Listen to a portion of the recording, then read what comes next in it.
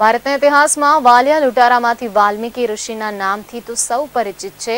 પણ આવો જ એક ચહેરો આજે ભારતમાં છે કે જે ડાકુ પંચમસિંહથી રાજયોગી તરીકે ઓળખાઈ રહ્યા છે. આ સંદર્ભે મોઢાસા બીબીએ બીસી અને એમએસસી આઈટીના કોલેજના વિદ્યાર્થીઓ માટે બ્રહ્માકુમારી ઈશ્વરે રાજયોગનો સેમિનાર કરી તમામ વિદ્યાર્થીઓને જીવન એક નવા માર્ગ અંગે જાગૃત કર્યા હતા. ડાકુ પંચનસિંહનો જન્મ ઓગણીસો બાવીસમાં થયો હતો અને છત્રીસ વર્ષની ઉંમરે ડાકુ બનીને ચૌદ વર્ષ સુધી પાંચસો છપ્પન ડાકુના સરદાર બનેલા પંચમસિંહ ચૌહાણનું પરિવર્તન સન ઓગણીસો બોતેરમાં દિલ્હીમાં સમર્પણ કરી ઓગણીસો તોતેરમાં વાલિયા લૂંટારામાંથી વાલ્મીકી બન્યા હતા, જે ઉત્તર પ્રદેશ, રાજસ્થાન, મધ્યપ્રદેશમાં ડાકુની ધાક જમાવી રાખી હતી.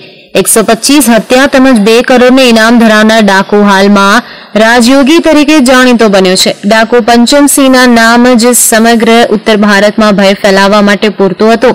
પરંતુ આધ્યાત્મિકતાને માર્ગે હાલમાં અઠ્ઠાણું વર્ષની ઉંમરે પણ અડીખમ ઊભા છે. બાળપણથી જ ગામમાં અન્યાયની સામે હથિયાર ઉઠાવ્યા બાદ સમગ્ર વિસ્તારમાં ડાકુની ગેંગના મુખ્ય સરદાર બન્યા હતા. ત્યાં હત્યા થકી સમગ્ર વિસ્તારમાં ભયનો માહોલ ઊભો કર્યો હતો. જેને પગલે સરકારે પણ આ મુદ્દે ગંભીરતા દાખવી પંચમસિંહની અટકાયત કરી તેની ઉપર કાયદેસરની કાર્યવાહી કરી ફાંસીની સજા આપી હતી. જોકે તત્કાલીન રાષ્ટ્રપતિએ પંચમસિંહમાં આવેલા પરિવર્તનને પગલે તેમની દયાની અરજી સ્વીકારી તેમને મુક્ત કર્યા હતા. ત્યારબાદ પંચમસિંહ પોતાના જીવનમાં અમૂલ્ય પરિવર્તન લાવી બ્રહ્માકુમારી ઐશ્વર્ય સંસ્થા દ્વારા ભારતની ચારસોથી વધારે જેલોમાં આધ્યાત્મિક અંગેની વાત કરી હતી.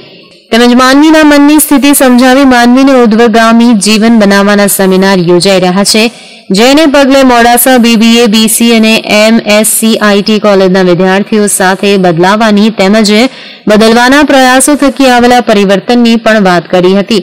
જો કે તેમણે એમ પણ જણાવ્યું હતું કે એકસો પચીસ હત્યા કર્યા બાદ પણ જો પંચમસિંહ પોતાનું જીવન બદલી શકતો હોય, તો આપણામાં બેઠેલા કોઈ પણ વ્યક્તિ પણ પોતાનું જીવન બદલી શકે છે. સમગ્ર કાર્યક્રમનું આયોજન સંસ્થાના મંત્રી સુરેન્દ્રભાઈ શાહ, એમએસસીઆઈટીના પ્રિન્સિપલ પરિમલ શાહ અને બીબીએ કોલેજના પ્રિન્સિપલ ડોક્ટર તુષાર ભાવસાર તેમજ બ્રહ્માકુમારી મોડાસાના ઇન્દિરાબેન તેમજ અન્ય વ્યક્તિઓ અને સમાજને ફરી વાલિયા લૂંટારામાંથી વાલ્મીકી બનેલા પંચમ સિંહની આત્મકથા સાંભળીને સમાજને એક ઉદાહરણ પૂરું પાડ્યું હતું.